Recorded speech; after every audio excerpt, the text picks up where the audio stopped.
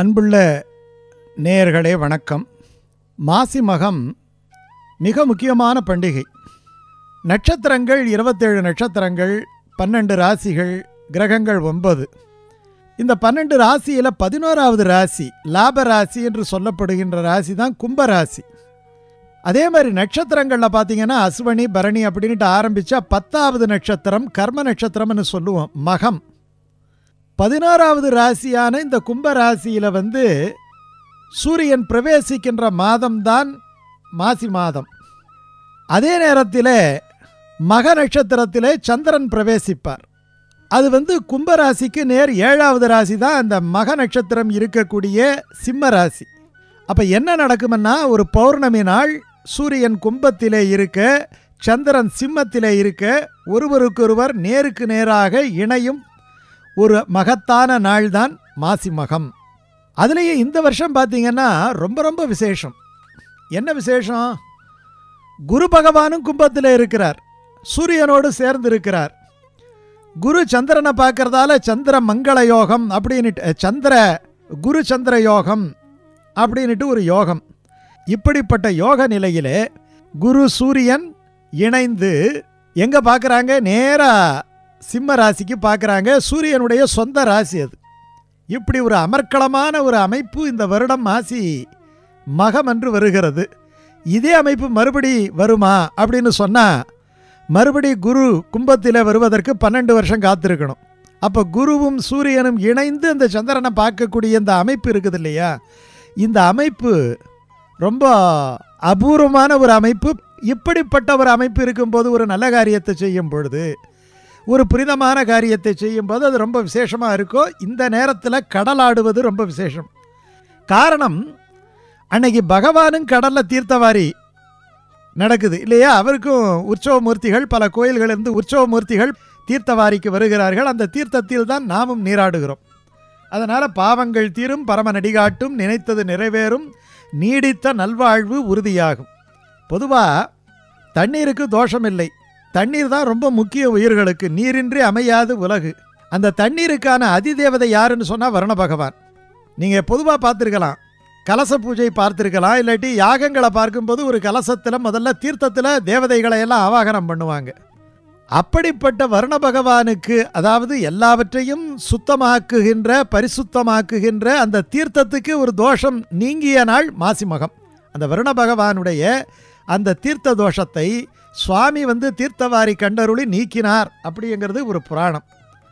அது மட்டும் இல்லை வராக பெருமானை இரணியன் அழித்து இந்த பூமியை உத்தாரணம் செய்த நாள் மாசி மகம் முருகப்பெருமான் அவர் சுவாமி மலையிலே தந்தைக்கு பிரணவ பொருளை உபதேசித்தது இந்த மாசி மகநாள் காலதேவன் யமன் அவன் அவதரித்த நாள் இந்த மாசி மகநாள் அப்படி சொல்லிக்கிட்டே போகலாம். இந்த மாசி மாதத்திலே நீராடி இறைவனை தரிசிப்பது முன்னோர்களுக்கு வந்து கடற்கரை குளக்கரை ஆற்றங்கரை முதலிய நீர்நிலைகளில் நீர்க்கடன் செய்வதெல்லாம் மிகுந்த புண்ணிய பலனை தரும். முற்பிறவியில் செய்த கொடிய பாவங்கள் தீரும். குடும்பத்தில் வறுமை நீங்கும். தொழில் வளர்ச்சி உத்தியோக வளர்ச்சி ஏற்படும். தடைப்பட்ட சுபகாரியங்கள் சுணக்கமில்லாமல் நடக்கும்.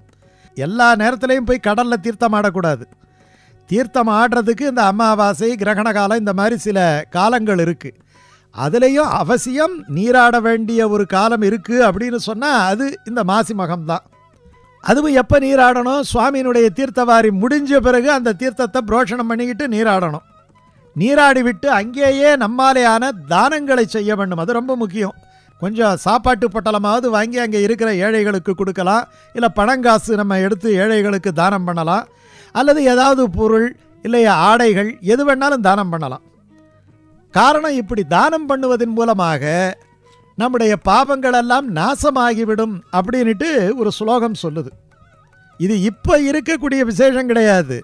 இது அந்த காலத்திலேயே ஏழாம் நூற்றாண்டிலேயே ரொம்ப விசேஷம். கபாலீஸ்வரர் கோயில்னுட்டு மெட்ராஸில் இருக்குது இல்லையா? அப்போ அதை சொல்கிறார் மடலார்ந்த தெங்கின் மயிலையார் மாசி கடலாட்டு கண்டான் கபாலீஸ்வரம் அமர்ந்தான் அப்படின்னுட்டு.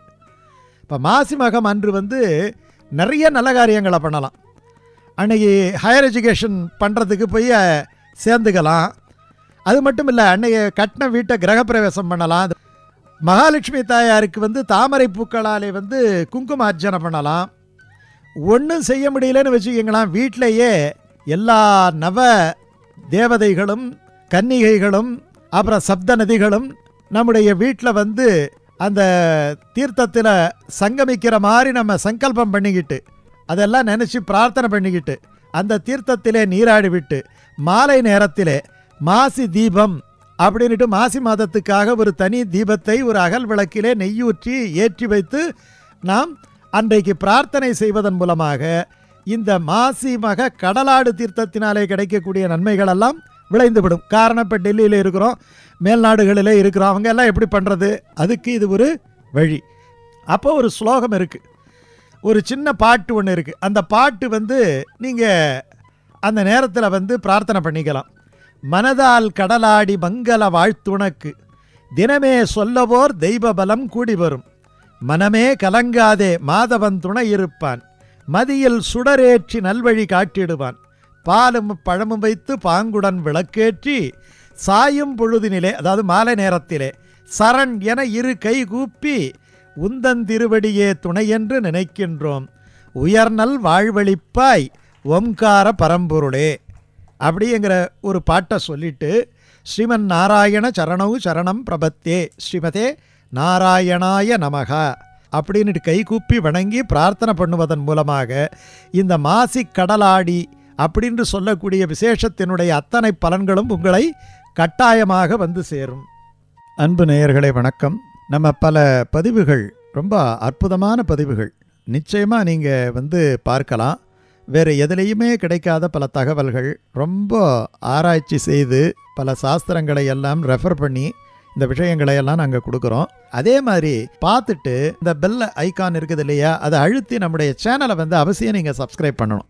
நல்ல விஷயங்களை நம்ம நாலு பேர்கிட்ட பகிர்ந்து கொள்ளக்கூடிய ஒரு பலம் அதில் இருக்குது நீங்கள் சப்ஸ்கிரைப் பண்ணிங்கன்னா தொடர்ந்து பல நல்ல செய்திகள் உங்களுடைய ஆத்ம பலத்தை உங்களுக்கு தன்னம்பிக்கையை உங்களுக்கு நல்ல விஷயங்களை நூறு புஸ்தகங்களை படிக்க வேண்டிய விஷயங்களை எல்லாம் சொல்லக்கூடிய அற்புதமான விஷயங்கள் எல்லாம் இதில் அடங்கி இருப்பதாலே அவசியம் நீங்கள் பார்த்து மற்றவர்களுக்கு ஷேர் செய்யுங்கள் சப்ஸ்கிரைப் பண்ணுங்கள். நன்றி வணக்கம்.